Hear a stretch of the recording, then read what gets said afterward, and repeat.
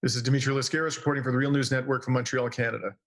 For years, the fracking boom has sparked a debate about the role that drilling for oil and natural gas in U.S. shale bedrocks plays in worsening the global climate crisis. Now, a new scientific study says that perhaps things are not as bad as they seem, or are they? It depends on who you ask.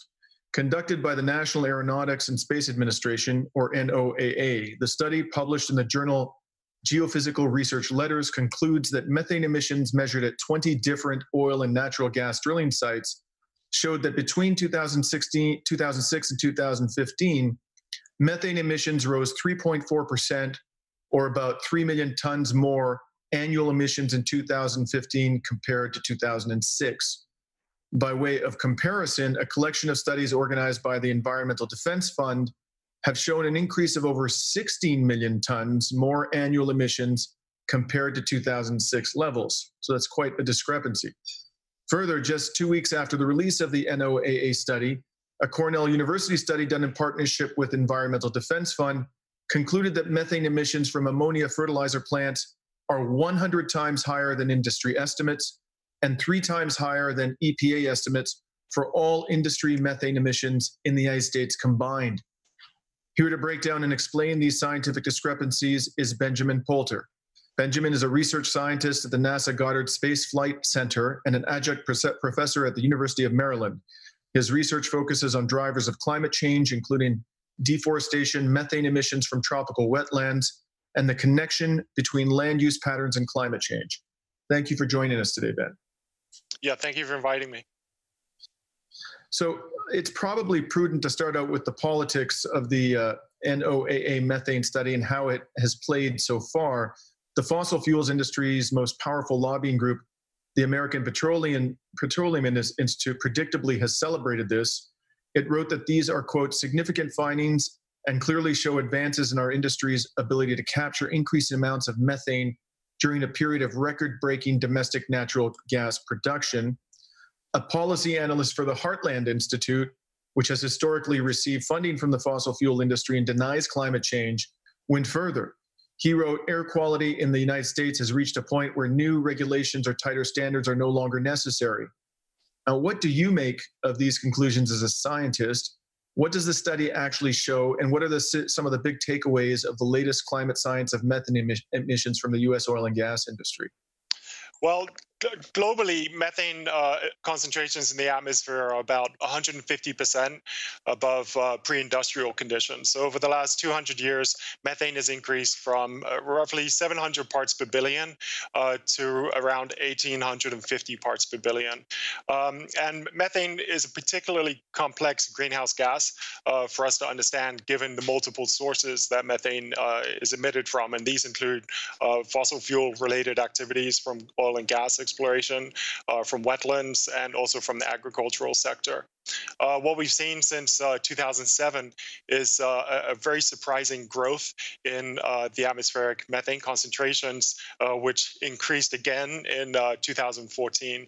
And there's a lot of research being done, like the study conducted by NOAA to actually understand whether the uh, the sources of emissions are coming from oil and gas, whether they're coming from wetlands, or whether they're coming from the agricultural sector.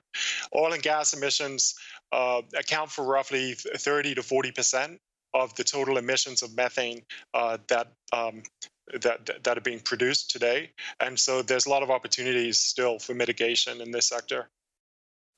And, and, the agricultural sector uh, accounts for how much of uh, methane emissions? Uh, and agriculture accounts for roughly 30%. Uh, so it's about 30, 35% of methane emissions come from oil and gas. 30 35% come from agriculture. This includes uh, livestock. Uh, the burping of cows uh, is, is, is a source of methane, uh, as well as from uh, rice cultivation and uh, the, the treatment of, um, of manure from, from livestock practices. And then the remainder, about 40% of methane, is emitted from wetlands. Now, Environmental Defense Fund said the study had sound science, but also said it raises questions because it, quote, does not address the magnitude of emissions, but only focuses on the trend in emissions that can be estimated directly from atmospheric observations. Instead, the organization said that many data sources are needed to analyze methane emissions. what are some of the shortcomings of using stationary air measurement sources to collect data on climate change when we're talking about something like methane, a, greenhouse gas dozens of times more potent than carbon dioxide during its first decades in the atmosphere? And for that matter, what are the strengths of the methodology that was used?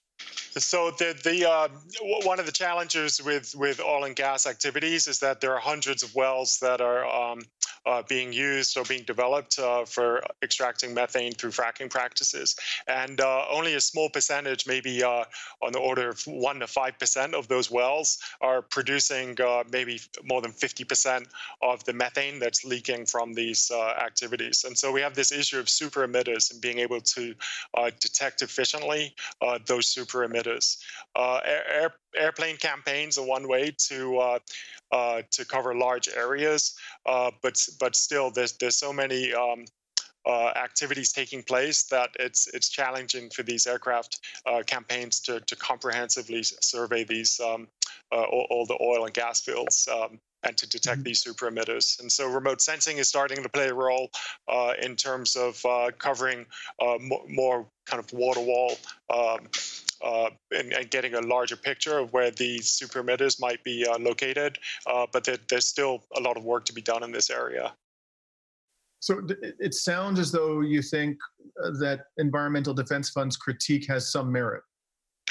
Uh, there, there's uh, it's it's a very intensive practice to actually detect which of these wells are are the, the super emitters and um, uh, and and so there's there's still a lot of work to be done in this area yeah okay so how much of all this is a is an issue of the ability to get the even get the data itself from production sites for example environmental defense fund was criticized for their first landmark climate change and methane emissions study back in 2013 for being allowed onto the production sites of fracking companies on days of the company's choosing.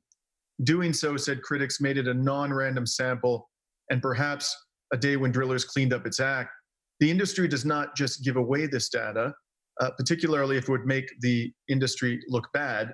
What problems does that present in terms of getting the data and really understanding the full scope of the issue? Uh, there, there's a lot of um, the, the, the, the, leakage from the oil and gas practices. There's a lot of uh, kind of temporally varying uh, emissions, and so day to day there might be different rates of, of methane that are being uh, leaked from these activities. Uh, so having long-term monitoring uh, and again trying to cover these really expansive landscapes that are um, being used for oil and gas extraction activities is is critical. Um, and uh, uh, having, I think the study highlights the need uh, to be able to have a multi-tiered approach to detecting where these leaks might be taking place. So, for example, having in situ monitoring at the at the um, at the site level, uh, but then scaling this up using a combination of aircraft, aircraft campaigns uh, as well as using uh, satellite observations and, and combining these measurements to have a, a long-term sampling strategy and monitoring strategy to try to reduce these uncertainties. And finally, Ben, uh, what are some concrete steps steps you think governments and regulatory agencies can take to curb methane emissions? Is it safe to conclude that a rapid phase out of drilling for these methane emitting sources is needed, given the rather alarming state of the broader climate science? Uh, well, I would leave that question up to the to the policymakers and uh, um, have them uh, make the decisions about uh, what practices would be appropriate for the energy sector. Well, we've been speaking to Dr. Ben Poulter about a new study relating to methane emissions. Thank you very much for joining us today, Ben. Okay, thank you for having me. And this is Dimitri Lascaris reporting for the Real News Network.